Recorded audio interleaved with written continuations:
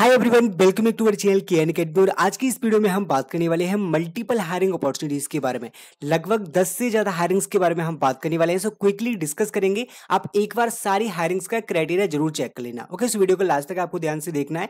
चलिए स्टार्ट करते हैं। सबसे पहले hiring which is from Cognizant so Cognizant की जो हायरिंग अपॉर्चुनिटी है, वो है प्रोग्रामर एनालिस्ट के लिए। ओके सो टाइटल आपका प्रोग्राम एनालिस्ट होने वाला है। डेट पब्लिश आप देख सकते हैं। अगस्त फ़र्स्ट बहुत ही रिसेंट अपॉर्चुनिटी आपकी होने वाली है। टेक्नोलॉजी एंड इंजीनियरिंग आपका यहाँ पे कैटेगरी होने वाली है।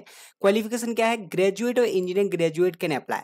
Guys यहाँ पे जो रिक्वायरमेंट्स हैं, वो आपकी टेक्निकल रिक्वायरमेंट्स होने वाली है। अगर मैं बताऊँ कि यहाँ पे कोई भी बैच मेंशन नहीं कोई भी डिग्री मेंशन नहीं है ओनली ग्रेजुएट है इंजीनियरिंग ग्रेजुएट के लिए मेंशन किया गया है। कई सारे डेवलपर आप यहाँ पे काम करने वाले हैं सो आपकी टोटली स्किल बेसिस पे हायरिंग अपॉर्चुनिटी वाली होने वाली है। अगर आपके पास रिलीवेंट स्किल्स हैं देन आपके लिए काफ़ी अच्छा चांस है, काफ़ी अच्छा रिस्पॉन्स भी आपको आ सकता है ओके आप बात करते हैं इस नेक्स्ट हायरिंग अपॉर्चुनिटी के बारे में जो क्लेरीवेट की तरफ़ से होने वाले है as associate data analyst this is for Karnataka location and आपका हाइब्रिड मोड में होने वाला है ये भी आपकी काफ़ी रिसेंट अपॉर्चुनिटी है। यहाँ पे क्राइटेरिया के बारे में बात कर लेते हैं। बैचलर्स डिग्री आपके पास होना चाहिए computer science information technology related field में। Strong focus on data analyst and data interpretation visualization okay so आपकी डेटा एनालिस्ट की यहाँ पे अपॉर्चुनिटी है सो उसकी रिलेवेंट यहाँ पे स्किल्स की रिक्वायरमेंट है। जैसे कि आपको टेबलू पावर की नॉलेज होना चाहिए आर पाइथन में आपको नॉलेज होना चाहिए सॉफ्टवेयर पैकेजेस की and you should have problem solving in other skills also okay next जो हायरिंग अपॉर्चुनिटी वो है वर्चुअल की तरफ़ से they are hiring for junior software engineer in Hyderabad okay so this is for Hyderabad location यहाँ पे job trip का fresher होने वाले फ्रेशर्स में अप्लाई कर सकते हैं। जूनियर सॉफ्टवेयर इंजीनियर सिंपली आपको क्या करना है? ईमेल आईडी प्रोवाइड करना है। देन आपको सबमिट करना है एप्लीकेशन रेज्यूमे वगैरह अटैच करके आप एप्लीकेशन को सबमिट कर सकते हैं। नेक्स्ट जो हायरिंग अपॉर्चुनिटी होने वाली है वो आपकी सिटी की तरफ़ से होने वाली है reference data services analyst one okay this is for Gurgaon location यहाँ पे बात कर लेते हैं रिस्पॉन्सिबिलिटीज आपकी क्या होगी।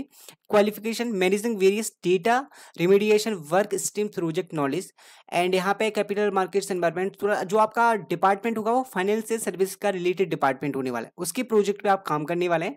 बट यहाँ जो रिक्वायरमेंट है बेस्टर्स यूनिवर्सिटी डिग्री और equivalent experience if you have relevant experience क्योंकि आपका जो फ़ील्ड होने वाली है, वो है ऑपरेशन फ़ील्ड सो काफ़ी सारे स्टूडेंट्स हैं, जो नॉन टेक्निकल स्टूडेंट्स हैं, उनके लिए तो काफ़ी ज़्यादा एडवांटेज होने वाला है। ऑपरेशन की फ़ील्ड में आप काम करने वाले हैं सिटी में आप अप्लाई कर सकते हैं।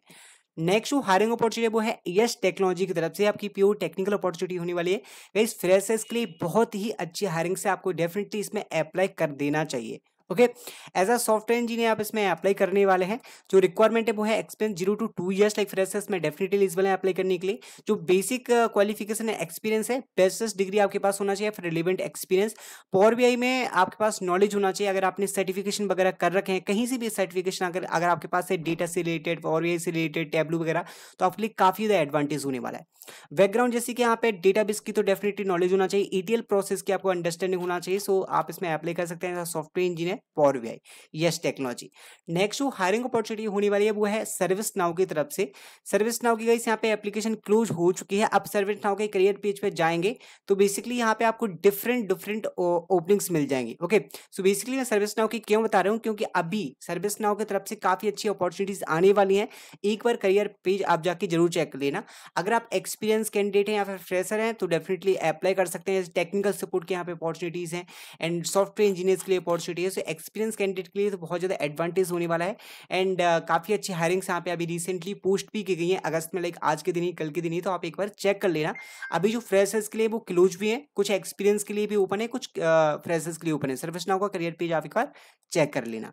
नेक्स्ट जो हायरिंग अपॉर्चुनिटी है वो है अमेजोन की तरफ़ से। They are hiring for DCO training यहाँ पे जो रिक्वायरमेंट है उसके बारे में बात कर लेते हैं गाइस यहाँ पे आप देख सकते हैं basic qualification basic knowledge of system hardware network devices good return and verbal communication skills and team player okay so degree आपके पास है डिप्लोमा है टेक्निकल सर्टिफिकेशन है information technology computer engineering computer science related discipline multiple branch के students यहाँ पे apply कर सकते हैं। सच कोई भी हार्ड टेक्निकल स्किल्स की रिक्वायरमेंट नहीं मांगी गई है but relieve like relevant skills अगर आपके पास नॉर्मल डिग्री है डिप्लोमा तो आप इसमें अप्लाई अप्लाई कर सकते हैं। फ्रेशर भी डेफिनेटली एलिजिबल है अप्लाई करने के लिए।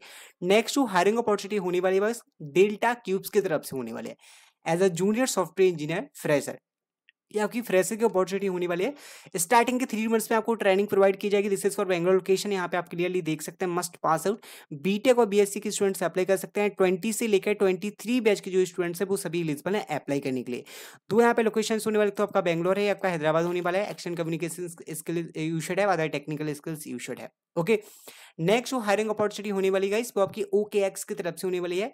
They are hiring for graduate hire twenty four twenty five software engineer as a software engineer इसमें अप्लाई करने वाले हैं twenty four and twenty five batch के स्टूडेंट से अप्लाई कर सकते हैं। रिमोटली बेसिस पर स्टार्टिंग में आपकी अपॉर्चुनिटी होने वाली है। ओके सो यहाँ पे आप वर्क फ्रॉम होम करने वाले हैं। Bachelors in computer science technology engineering mathematics related technical discipline और self taught enthusiast okay so basically इसमें आपकी टेक्निकल अपॉर्चुनिटी टेक्निकल स्किल्स की रिक्वायरमेंट है H T M L C S JavaScript की आपको नॉलेज होना चाहिए Java spring board D S C की नॉलेज होना चाहिए डेटा बेस की आपको नॉलेज होना चाहिए। प्योर टेक्निकल अपॉर्चुनिटी होने वाली गई आप इसमें डेफिनेटली एलिजिबल है अप्लाई करने के लिए। नेक्स्ट जो हायरिंग अपॉर्चुनिटी है, वो है यूएसटी की तरफ़ से। यूएसटी की जो हायरिंग है, वो है developer software engineer zero to two years यहाँ पे बेंगलोर लोकेशन आपका होने वाला है।